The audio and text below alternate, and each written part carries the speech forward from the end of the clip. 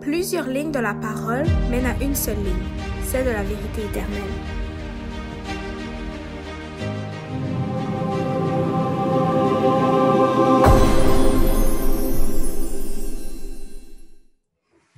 Frères et sœurs, chers amis, bonjour. Je suis content d'être le porte-parole du Seigneur pour son Église aujourd'hui. Et je suis content de voir quelques frères et sœurs présents. Le message d'aujourd'hui que nous allons partager avec vous a pour titre Le banquet des noces de l'agneau.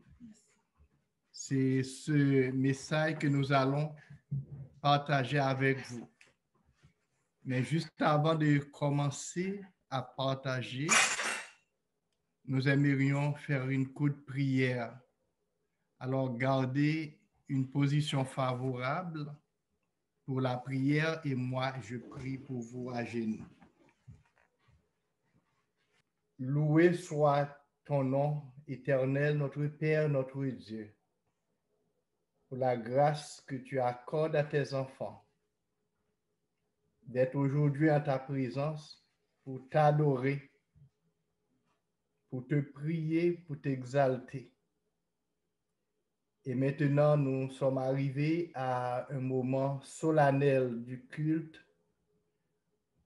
où nous allons partager ta parole qui constitue notre espérance. Et c'est à cause de cette espérance, cette espérance que nous avons en toi, que nous sommes ici t'adorer.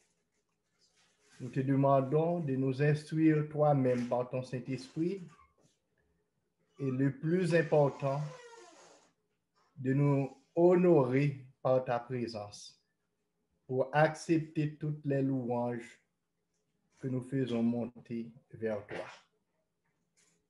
Qu'il en soit ainsi. Au nom de Jésus, ton Fils bien-aimé, nous te prions. Amen.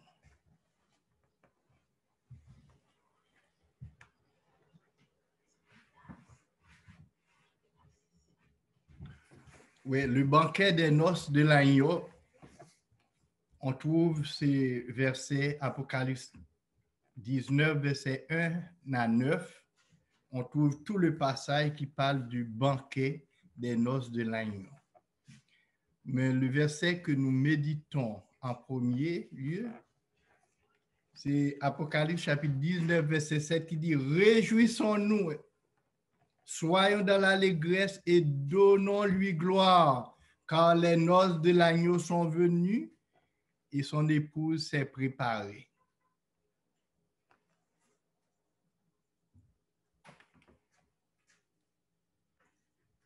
Donc, après que les rachetés ont quitté la terre, Dieu débute notre séjour éternel au ciel avec un banquet pour nous récompenser avec beaucoup de réjouissance. Et le verset qui introduit le repas des noces et de l'agneau, ce festin-là, c'est Réjouissons-nous, soyons dans l'allégresse. Donc, on quitte la terre avec beaucoup de douleurs, beaucoup de tristesse. On a traversé les moments difficiles, avec beaucoup de pleurs, mais Dieu va nous introduire dans une scène de réjouissance dans le banquet des noces de l'agneau. Quel beau jour ce sera. Donc, réjouissons-nous. Ça va arriver bientôt. Un autre verset encore, c'est verset 19. Apocalypse chapitre 19, verset 9. Et l'ange me dit, Heureux ceux qui sont appelés au festin des noces de l'agneau. Et il me dit, ces paroles sont les véritables paroles de Dieu.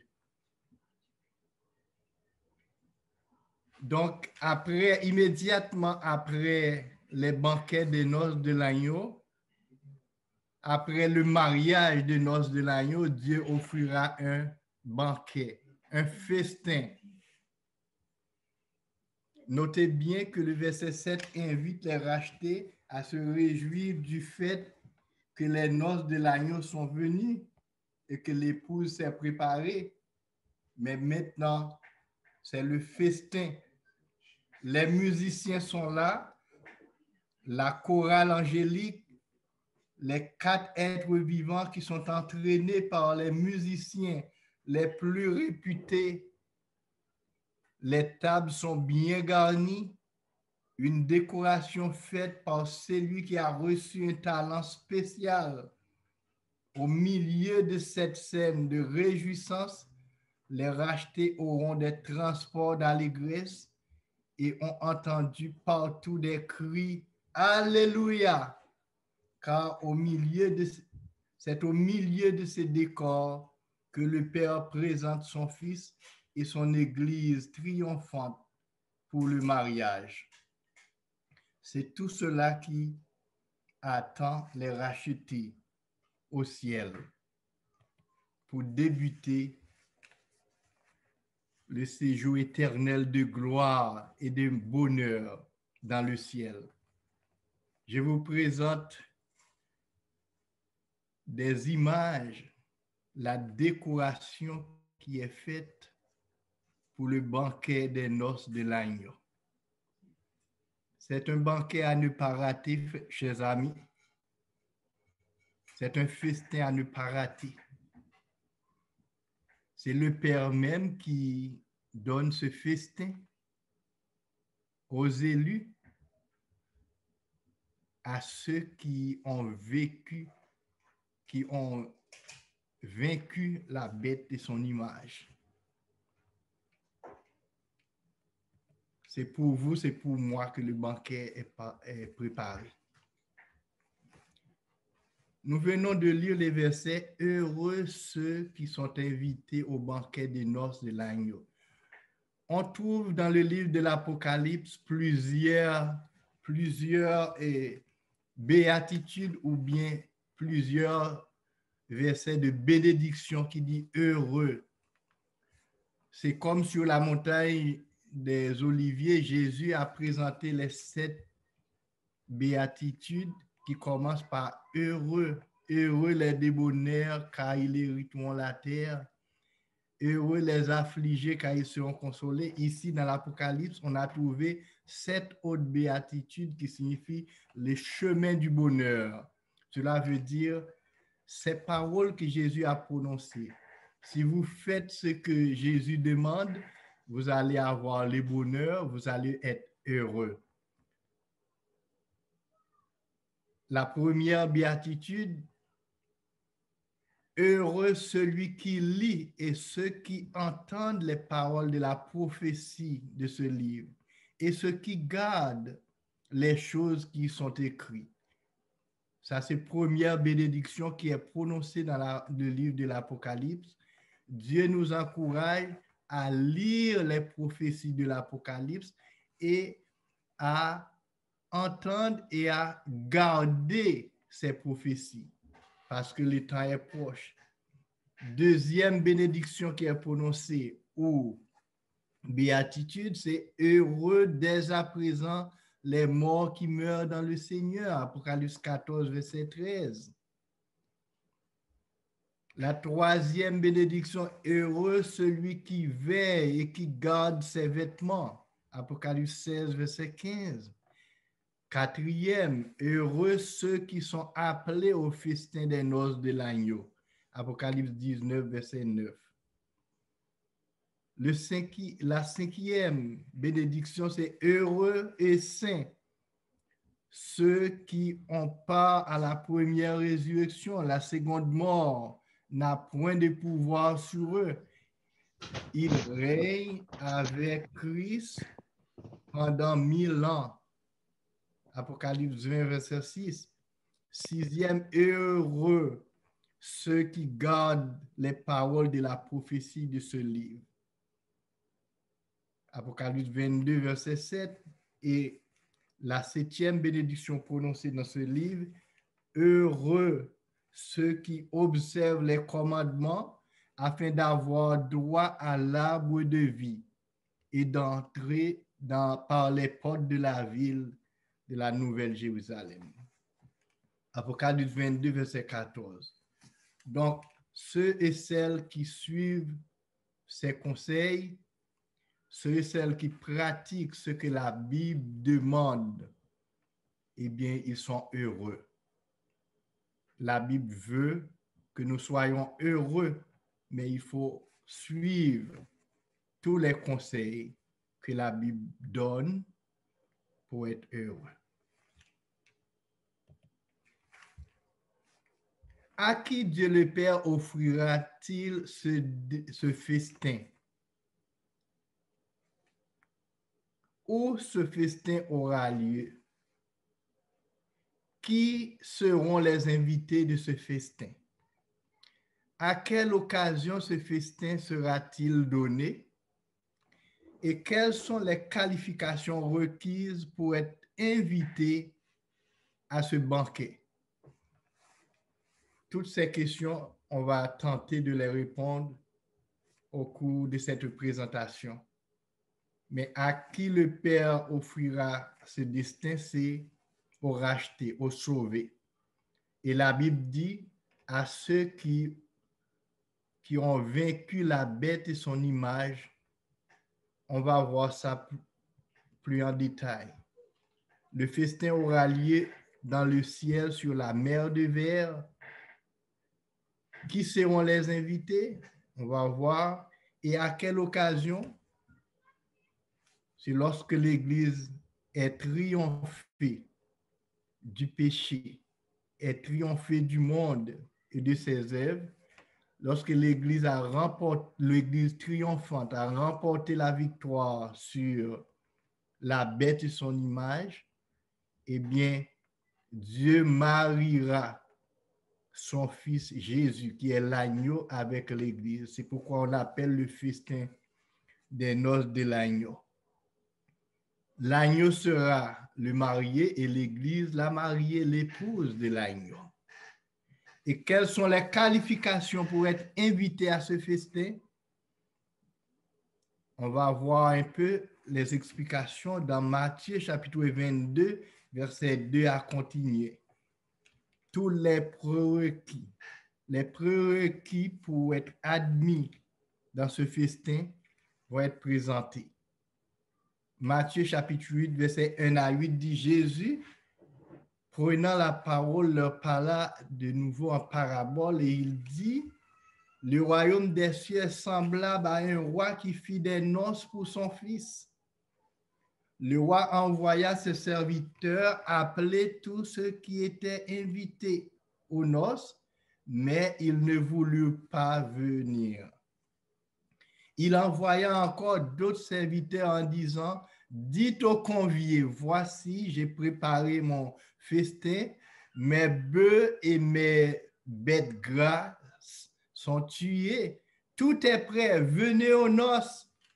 Mais sans s'inquiéter de l'invitation, ils s'en allèrent, celui-ci à son champ, celui-là à son trafic. Et les autres se saisirent des serviteurs, les outragèrent et les tuèrent. Le roi fut irrité et il envoya ses troupes, fit périr ses meurtriers et brûla leur ville. Alors il dit à ses serviteurs, les noces sont prêts, mais les conviés n'en étaient pas dignes. Donc, c'est Jésus qui a raconté cette parabole à ses disciples pour parler comment va être le festin des noces de l'agneau. Il y a un premier groupe qui était invité, mais il n'était pas venu au festin. Le Père a envoyé un autre groupe pour inviter d'autres personnes encore. Mais ils étaient trop occupés avec les affaires du monde. Ils n'étaient pas prêts pour venir au concert. Et maintenant, le Père va chercher notre groupe. Le premier groupe, peut-être, c'était les Juifs. Les Juifs étaient les premiers invités au festin, mais ils n'ont pas répondu à l'appel. Ils n'étaient pas là. Mais finalement, le Père a envoyé des serviteurs pour, pour faire d'autres invitations. Il dit, allez donc dans les carrefours, Apocalypse chapitre 22, verset 9. Allez donc dans les carrefours et appelez aux noces tous ceux que vous trouvez. Ces serviteurs allèrent dans les chemins, rassemblèrent tout ce qu'ils trouvèrent, méchants et bons, et la salle des noces fut pleine de convives. Mais le roi rentra pour voir ceux qui étaient à table. Il a aperçu un homme qui n'avait pas qui n'avait pas revêtu de l'habit de noces. Il lui dit, mon ami, comment es-tu entré ici sans avoir un habit de noces? Cet homme, il a bouche fermée. Il ne peut pas répondre le maître. Alors le roi dit au serviteur, liez les, les mains, liez-le les mains, liez-lui les mains et les pieds et jetez, jetez-le dans les ténèbres du dehors, où il y aura des pleurs et des graissements dedans. Car il y a beaucoup d'appelés, mais peu d'élus. Imaginez que le Père n'a pas trouvé les gens qui étaient invités au commencement. Et les noces sont prêtes. Il n'y a plus de temps. Le Père dit maintenant, va dans les carrefours. Trouvez-moi des gens pour les noces de mon fils. Prends des gens dans le chemin, dans les carrefours, les gens qui vont au travail, qui vont à la factory, les gens qui vont dans les industries, même dans les jardins, ramasser ces gens, amène-les au festin de mon fils, parce que moi, je vais marier mon fils une seule fois. Je veux qu'il y ait beaucoup d'invités. Imaginez-vous que ces gens ne sont pas prêts. Ils n'ont pas d'habit de noces. Mais le Père dit, prends-les tels qu'ils sont. Amène-les quand il arrive ici, moi, je m'occuperai de, de leur habit. Je vais leur donner un habit de noces. Tous étaient venus avec leur haillons, avec leurs vêtements sales. Le Père les a acceptés tels qu'ils sont. Mais il faut qu'ils soient revêtus des habits de noces, des habits de fête. Tout le monde a accepté. Le Père a donné une salle pour que les gens puissent se laver. Il a donné du parfum et il a donné des tenues de noces, des beaux habits royaux pour que les gens puissent assister au mariage de son fils. Mais il y a un qui refuse de porter ses vêtements. Il rentre dans la salle sans avoir l'habit de noces. Et le père qui voulait pas que quelqu'un soit masqué dans le mariage, le père entre dans la salle pour jeter un coup d'œil avant que les repas commencent. Mais voici un homme qui n'avait pas porté son habit.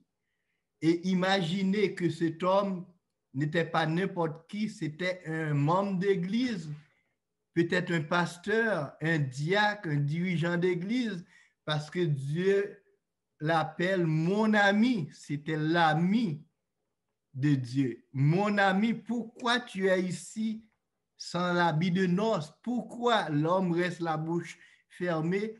Le festin l'intéresse, mais il ne veut pas se soumettre aux conditions pour être là. Tout le monde se lave, tout le monde s'habille, tout le monde met de, des parfums, des fleurs, tout le monde s'est décoré.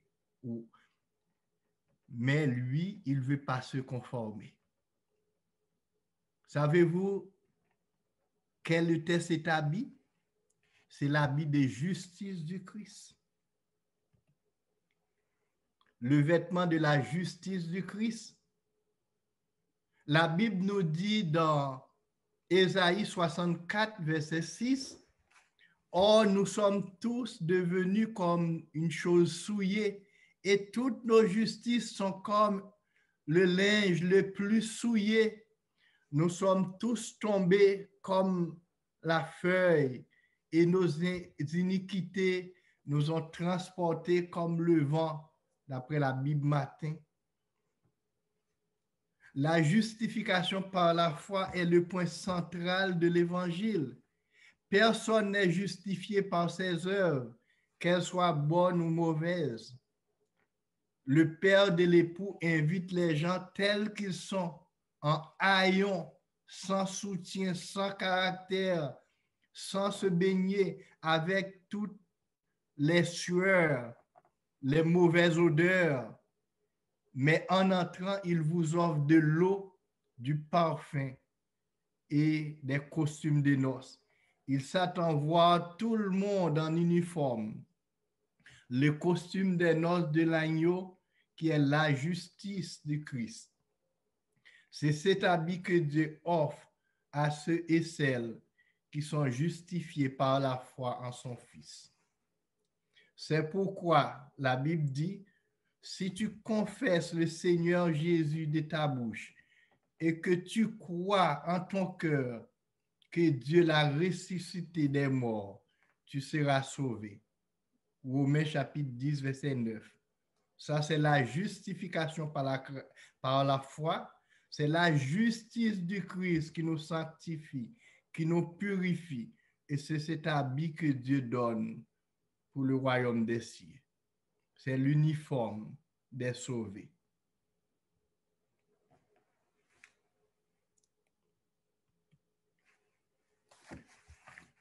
Le livre de l'Apocalypse nous introduit un conflit féroce entre le bien et le mal. D'un côté se trouve Christ et son Église militante, et de l'autre côté Satan avec les églises apostates, la grande Babylone et ses filles. Depuis le temps de Constantin, Église de Pergame, Thyatire, Satan a amené son quartier général à Rome. C'est-à-dire, il a choisi Rome pour mener son projet. Apocalypse 13, verset 2 nous dit, le dragon a donné son trône à la bête, son pouvoir et une grande autorité. Et Apocalypse chapitre 13, verset 8 qui dit, le monde entier adore la bête le monde entier est dans l'admiration derrière la bête. Le livre de Révélation nous dit que toutes les églises qui font des compromis avec la papauté sont des églises apostates. Rome n'accepterait personne qui n'est pas favorable à lui. Référence Apocalypse 12, verset 17, le dragon s'est irrité à la contre la femme. Et il s'est allé, il s'en alla faire la guerre au reste de sa postérité, à ceux qui gardent les commandements de Dieu et la foi de Jésus. Donc, si Rome vous accepte, c'est que vous êtes de son sein. Vous êtes de, ce, de son camp où se trouve la, la petite compagnie, les saints. Apocalypse chapitre 15, verset 2, et je vis comme une mer de verre mêlée de feu. Et ceux qui avaient vaincu la bête et son image et le nombre de son nom, debout sur la mer de verre, ayant des harpes de Dieu. Ceux qui ont vaincu les faux enseignements, les fausses doctrines, ceux qui, avaient, qui ont vaincu les mensonges de la bête du faux prophète. C'est eux qui sont debout sur la mer de verre. Et c'est eux qui chantent le cantique nouveau. Et ils chantent le cantique de Moïse, les serviteurs de Dieu, le cantique de l'agneau, en disant, Tes œuvres sont grandes et admirables, Seigneur Dieu Tout-Puissant. Tes voies sont justes et véritables, roi des nations. Qui ne craindrait, Seigneur, et qui ne glorifierait ton nom? Car seul tu es saint, et toutes les nations viendront et se prosterneront devant toi, parce que tes jugements ont été manifestés. On voit que les saints vont restaurer la crédibilité de Dieu que Satan a sali dans le ciel en disant que Dieu n'est pas juste. Mais les saints, les rachetés qui seront au ciel, ils vont chanter le cantique de Moïse et de l'agneau pour dire, tes voix sont justes, ô notre Dieu. Parce qu'ils ont suivi la, loi, la voix de Dieu. Ils ont obéi à la loi de Dieu. Ils vont dire que le chemin de Dieu est juste. Pourquoi le cantique de Moïse et de l'agneau? Moïse est celui qui a fait sortir le peuple de Dieu de l'esclavage en Égypte pour les amener en Canaan terrestre, un beau pays où coule le lait et le miel. Moïse, par la force de Dieu, par des miracles que Dieu a accomplis par sa main, il a fait sortir le peuple à main forte et à bras étendus. Jésus l'agneau, le cantique de l'agneau. Pourquoi? Jésus est celui qui a remporté la victoire sur le diable et tous ses supports, qui a racheté un peuple pour Dieu par son sang et qui a fait d'eux un royaume et des sacrificateurs. C'est lui qui va nous emmener en Canaan céleste pour aller jouir les bonheurs sans fin. Et c'est dans ce banquet, les noces de l'agneau. C'est Jésus que nous allons assister pour débuter notre séjour éternel de gloire en présence des saints anges, en présence du Père, en présence des 24 vieillards et en présence des êtres vivants, en présence des rachetés, des sauvés de tous les temps. Frères et sœurs, ça doit nous encourager. Hein. Ce matin, vous devez être encouragés par ces paroles. Dieu débitera le séjour éternel avec un banquet pour tous les sauvés, un, un banquet pour l'Église triomphante.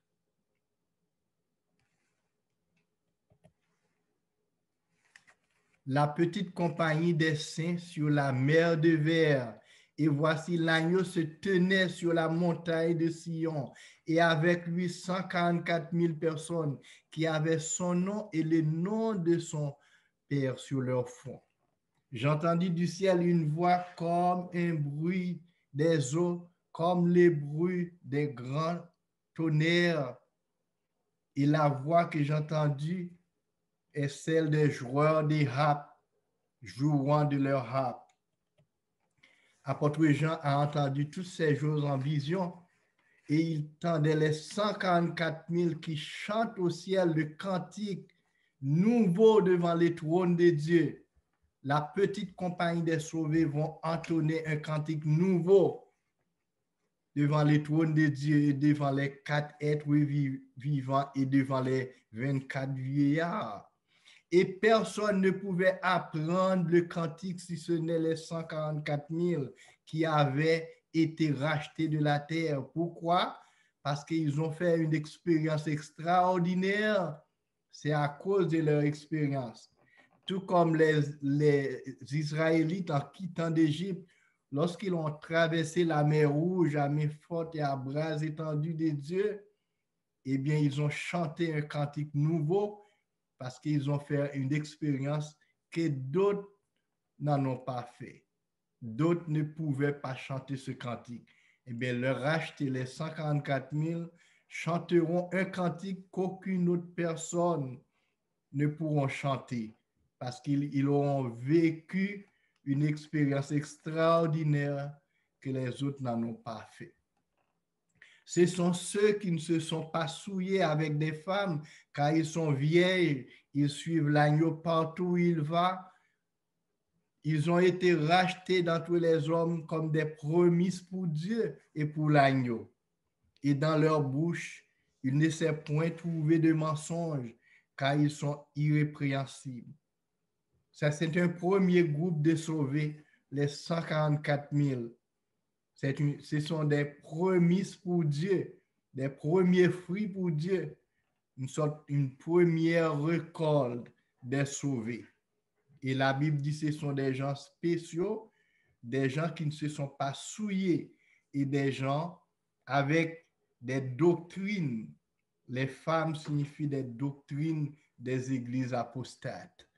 C'est des gens dans leur bouche, il n'y a pas de mensonge car ils ont prêché et affirmé la vérité. C'est ça que la Bible nous dit. Est-ce que c'est seulement les 144 000 qui vont être au ciel? Est-ce qu'il n'y en a pas d'autres encore? Il y en a.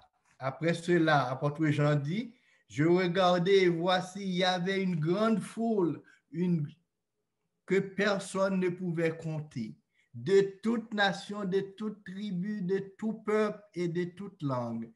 Et il tenait devant le trône, se tenait devant le trône et devant l'agneau, revêtus des robes blanches et des palmes dans leurs mains.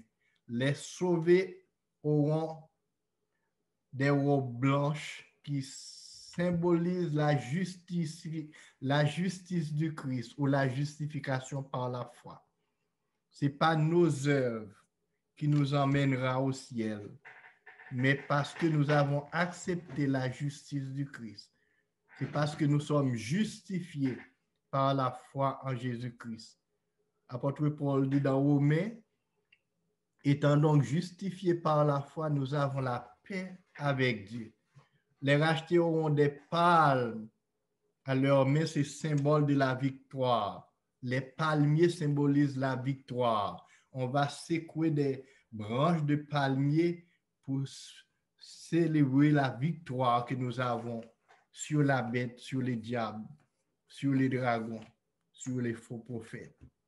Et il criait d'une voix forte en disant, le salut est à notre Dieu qui est assis sur le trône. Le salut est à l'agneau. En conclusion, il y aura deux groupes qui se forment. Un qui suit l'agneau et l'autre qui suit la bête. Alors Dieu organisera pour ces deux groupes deux festins. Dans Apocalypse chapitre 9, chapitre 19, verset 1 à 9, il est mention du festin des noces de l'agneau. Mais quand on lit chapitre 19, Apocalypse chapitre 19, verset 10 jusqu'à le dernier verset, il parle du festin des oiseaux. Donc, Dieu organisera deux festins, le festin des noces de l'agneau et le festin des oiseaux.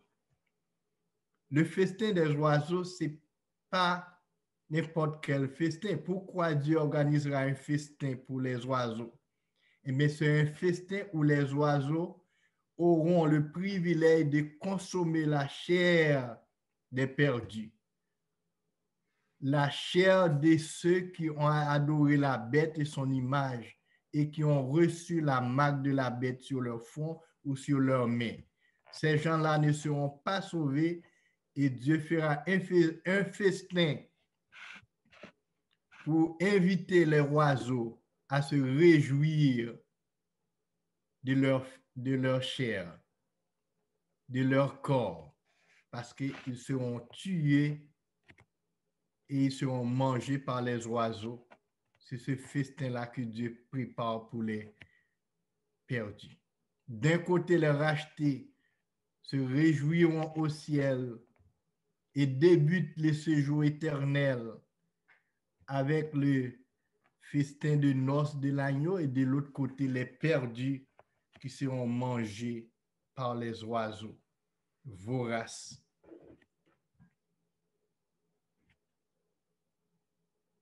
L'un recevra des mots d'honneur. Un groupe va recevoir des mots d'honneur. Venez, vous qui êtes bénis de mon Père, venez prendre la possession du royaume.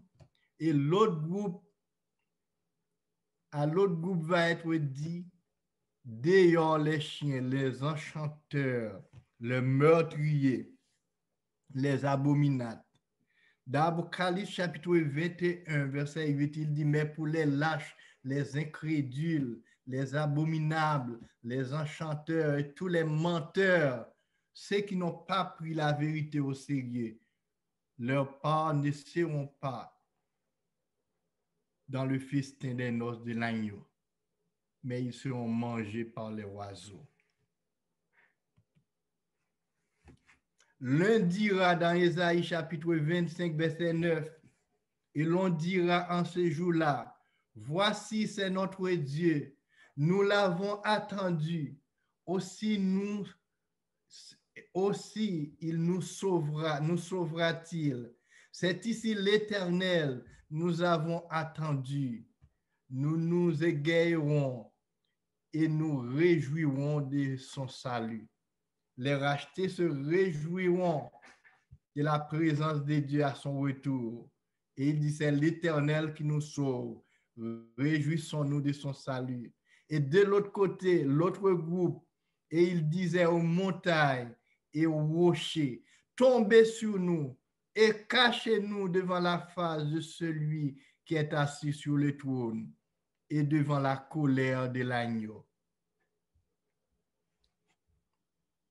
Faisons le choix des sages frères et sœurs et soyez des intelligents.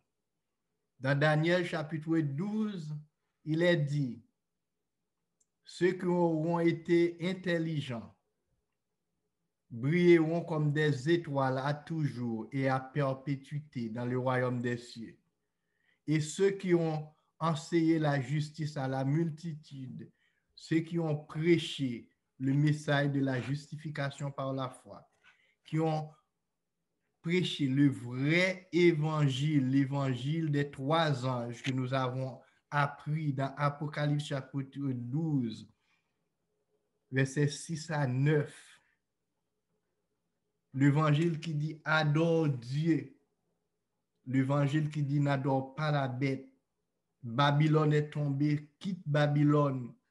Cela aura été intelligent et ils brilleront dans le royaume éternel. Et comme le verset de départ dit, heureux ceux qui auront assisté au festin des noces de l'agneau. La seconde mort n'aura point de pouvoir sur eux, et ils régneront avec Dieu et l'agneau au siècle de siècles. Réjouissez-vous par ces paroles et que le Seigneur vous bénisse. Merci d'avoir écouté cette vidéo. Pour plus de contenu, abonnez-vous sur notre site Internet. Il est également possible pour vous de nous suivre sur notre page Facebook et de nous contacter par email.